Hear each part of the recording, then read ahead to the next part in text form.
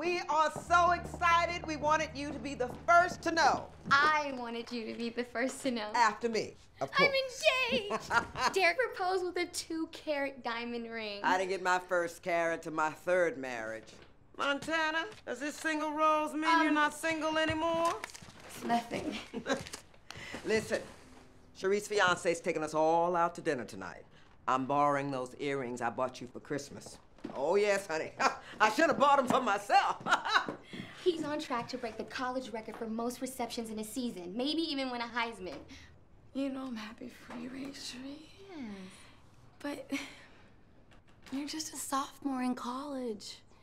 You barely know what you want to major in, much less who you want to spend the rest of your life with.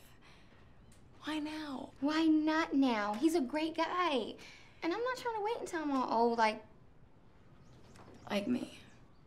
Montana. I didn't mean it like girls, girls, what do you think?